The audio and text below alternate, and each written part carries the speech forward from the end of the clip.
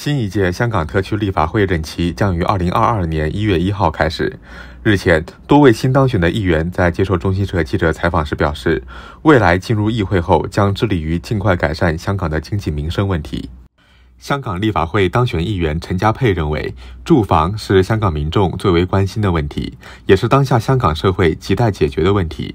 新一届立法会的首要任务就是为香港解决住房问题。我觉得香港现在最严重的一个问题就是，呃，住的问题，因为我们的地小人多，环境比较差的。呃，住在那个汤房的呃家庭也有很多。我就是在这这次那个选举，我也去探，就是去看过一个劏房的家庭，他们一家三口住在呃一百一百尺左右的那个小的房间。所以我觉得，呃，很多香港的家庭呢，他们的呃生活的条件真的很差。所以我当了立法会以后，我觉得首要的呃那个任务就是要。改善我们香港人生活的环境。当选议员陈少雄表示，此前香港立法会拉布不断，严重拖延了经济、民生等法案的通过。新选之下产生的新一届立法会将提高工作效率，尽快推动解决香港的住房问题。绝对不能够好像从前的香港的速度拖拖拉拉的。我们在香港呢，尤其是年轻人，再能等多少年？五年、十年，这个是不可能的。我们要加速出台房屋土地的这个长期的这个供应，还有中短期的一些有关政策，破解香港一些深层次的矛盾，这是我们未来的工作，非常这个重大。但是我要有信心的。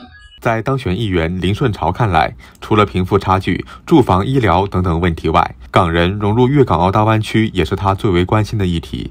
他希望通过自身经历，鼓励更多港人到内地城市工作发展。呃，我个人来说，我就是呃，就从基层呃呃出生的。所以我对就这个贫富悬殊啊，这些啊这些呃弱势呃呃想存这一块，我是会特别关心的。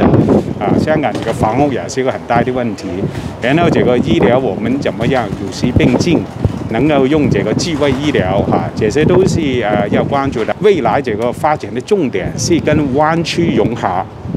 然后跟就国家这个发展大局就是融合起来嘛。我就二零一三年已经在这个湾区就是呃办这个医疗服务啊，所以这一个就我希望我的经验能够鼓励多些人到这个湾区去发展。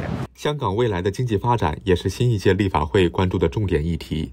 当选议员李浩然对中新社记者表示，近年持续反复的新冠疫情和此前的社会事件对香港经济冲击巨大。